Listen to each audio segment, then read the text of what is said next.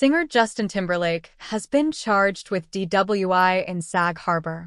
According to court documents, Timberlake was driving on Madison Street at about 12:37 a.m. when he was observed by an officer failing to stop at a stop sign. Police said Timberlake's eyes were bloodshot and glassy, and a strong odor of alcohol was emanating from his breath. He was unable to divide attention. He had slowed speech.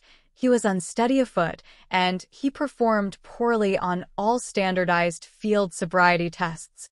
According to the court document, Timberlake